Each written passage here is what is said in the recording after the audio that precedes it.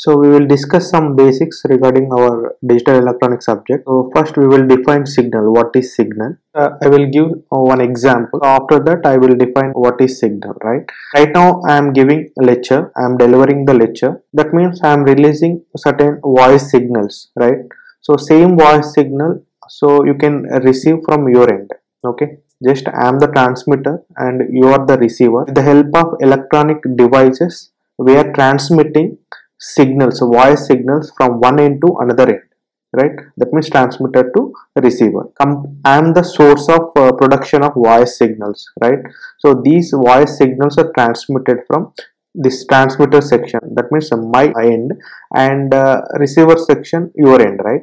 So from transmitter to receiver uh, we are transmitting these voice signals. So here uh, we are observing voice signals. Entire this session i am giving certain information. I am giving certain amount of information that i can deliver here and same thing you can uh, receive from uh, your end. That means information can be transferred from one end to another end. That means here uh, information is nothing but what?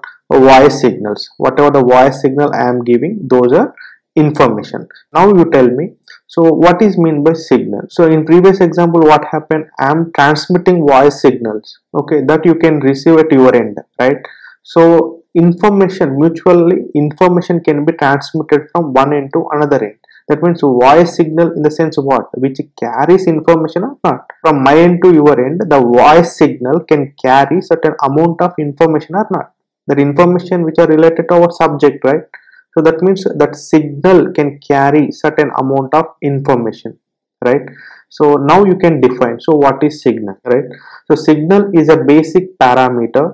I am writing here. It is a basic parameter which carries information which carries information. So now these signals are classified into two types. So basic classification this one is right? And uh, we have standard types of signals and practical signals okay?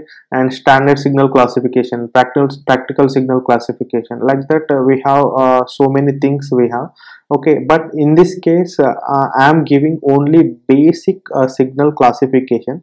We have two types. So one is one is analog signal and second one is digital signal digital signal. Here you can observe the example of uh, analog signal is voice signals right? And for example of this digital signal is computer signals okay? So these are the examples right? So now so most of the signals which are available in the form of analog signals only. Again uh, these analog signals are classified into two types and non-electrical and electrical format. Before going to that classification first we will discuss uh, electrical quantities right? So what are the electrical quantities we have? Okay that we will discuss first okay? Electrical parameters uh, are variables. We have two electrical uh, parameters. One is uh, voltage that is denoted by capital v and second one is current which is denoted by capital I. So these are the two electrical parameters. Here voltage and currents are uh, basic electrical parameters. Okay, if you take a product of voltage and current that will result power and power with respect to time if you consider that will result energy and the power and energy are the secondary but the primary things are voltage and current. So the basic electrical parameters are one is voltage another one is current. Basic electrical parameters voltage and current power and energy these are the secondary parameters. Again these analog signals are classified into two types. First one analog signals. So these are uh, first one non-electrical signal and the second one is electrical signal. When comes to this non-electrical signal part the signal uh, shape is like this. This is your this is your signal and which is varying with respect to time. X-axis which is denoted with the time and y-axis which is denoted with magnitude. Magnitude. X-axis denoted with the time and y-axis denoted with the magnitude. And uh, in the second case so here also x-axis represented with the time y-axis uh, represented with amplitude. But this amplitude magnitude both are same. But uh, uh, when comes to electrical part the terminology is different. When comes to non-electrical part the terminology is uh, slightly different right? So but uh, ultimate uh, meaning is same okay? And when comes to this non-electrical signal for example if you take non-electrical signal uh, speech signal okay so i am talking uh, i am producing a certain speech signal okay? That speech signal do not have proper shape right? So do not have proper shape. So but still even for example not only speech signal if you take temperature okay? Temperature uh, signal also uh, do not have proper shape right? And not only temperature humidity and uh, pressure okay? So density like that various non-electrical parameters we have so if you take any one so uh, they won't produce proper shape okay? And that means what? And at the same time uh, those all parameters varied with respect to time. X-axis is fixed one that is time duration. When comes to y-axis uh, part so that y-axis is varying. For example if you take temperature that magnitude can be represented in centigrades otherwise fahrenheit when you consider speech signal uh, the magnitude can be considered in decibels okay? Like that if you take any electrical parameter that should be measured in some different units okay? If you take uh, any non-electrical parameter that will have certain uh, units. For example if you take normal physical quantity like uh, milk okay? So that magnitude can be measured in terms of liters. For example some physical quantity is there how you measure in kgs okay? That magnitude can be represented with the help of certain units okay? So for that non-electrical parameters. In the same way electrical signals amplitude otherwise magnitude can also measured in terms of voltage otherwise current okay? Here whatever the magnitude in this region whatever the magnitude we have that we can measure in terms of various uh, units right? So in the same way electrical signals also measured their magnitude otherwise their quantity in terms of voltage or current format that voltage and currents are uh, what? Electrical parameters. In order to measure these signals we are using voltage and current electrical parameters. That's why which are called electrical signals. Okay that's why which are called electrical signals. That is clear. That means what? Here I, here I can write amplitude is nothing but that amplitude measured in terms of voltage. When comes to non-electrical we have measured the uh, that magnitude in terms of their uh, units right? When comes to electrical signal we are measuring amplitude in terms of voltage or current. That's why which are called electrical signals so in real time in real time all the signals which are produced in non-electrical signal format only okay? In real time whatever the signals we are getting okay? Those all signals in non-electrical format. After that uh, we should convert these non-electrical signals to electrical signal format okay? So our systems our electronic systems can be understood only this electrical signals. That means raw material okay this is the raw signal. Raw signal unable to process with the help of uh, systems. Whatever the systems we have? Whether analog systems or digital systems those systems cannot read this raw signal data okay? So in that situation we need to convert the raw signal that means the non-electrical signal can be converted to electrical format. Then that electrical signal can be provided as an input to the whether it is analog system or digital system. Just you have to provide these electrical signal to that particular system. Then only that electrical signal can be processed by the system. Otherwise it won't. So how you convert this non-electrical signal to electrical signal? Have two devices one is sensor another one is transducer one form to another form conversion means definitely we have to use transducer okay whether it is non-electrical to electrical format otherwise mechanical to electrical format. So this non-electrical signal otherwise mechanical things okay? Uh, in order to select the specified range so we have to go for sensor. Example particular area we have certain temperature range. So we need to measure the temperature for whole day okay?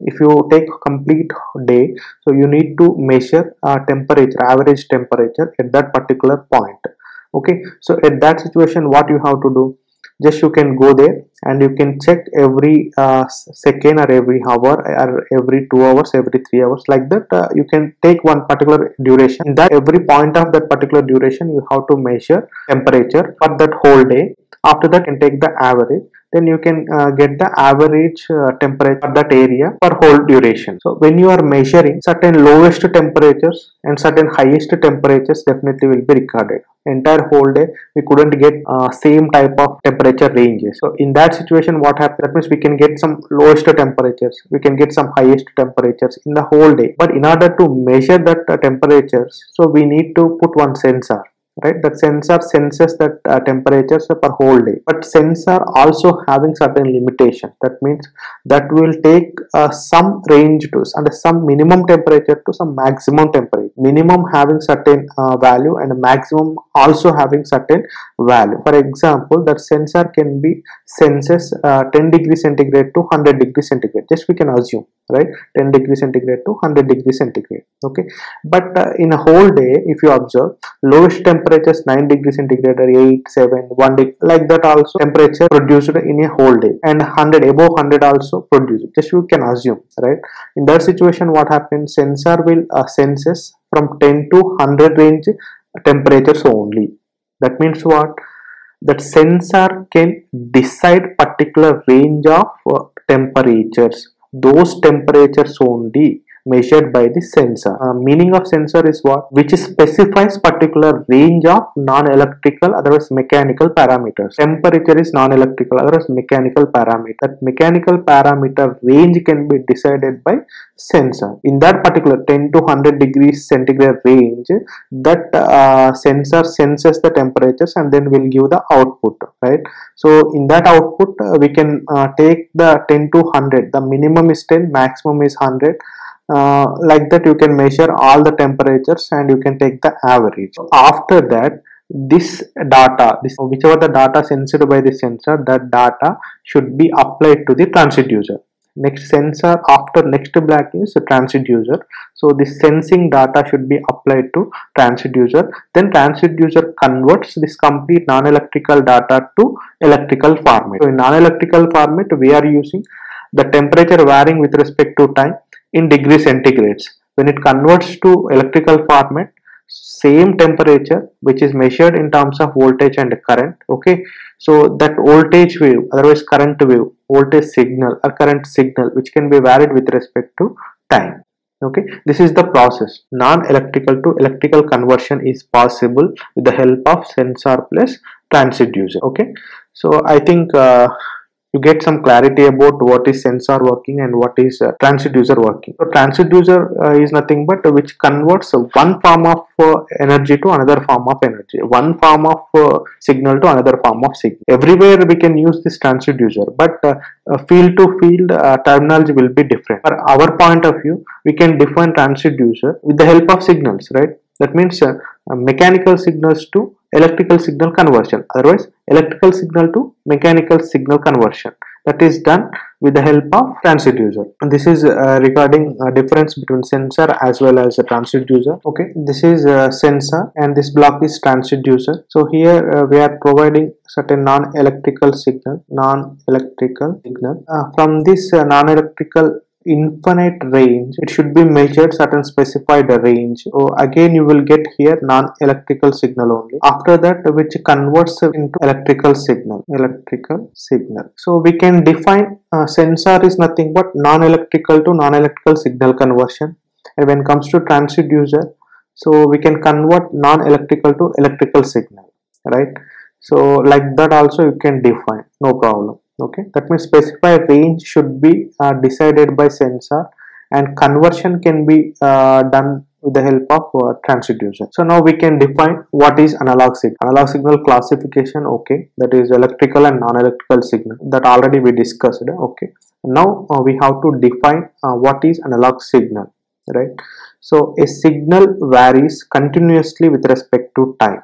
Already we know the signal electrical signal okay so in our entire terminology, we are using electrical signals only, either voltage signal or current signal, whether it is sinusoidal signal, otherwise non-sinusoidal signal. So these are the signals uh, we can use in our further chapters also. So here you can observe, so those electrical signals, those electrical signal amplitude, already I told you, amplitude in terms of voltage otherwise current right? Amplitude in terms of voltage or current right? So that amplitude varying with respect to time in a continuous fashion. Amplitude amplitude is nothing but what? Voltage or current right? Varies continuously with respect to time. Then it is called as analog signal. I am writing here. So a signal varies continuously with respect to time. Is called analog signal. Here I am taking voice signal as an example. So this is voltage. This is V of t and this one is V maximum. This is a maximum range. This entire amplitude is varying with respect to time. Just you can denote this one as voltage otherwise uh, current. Okay?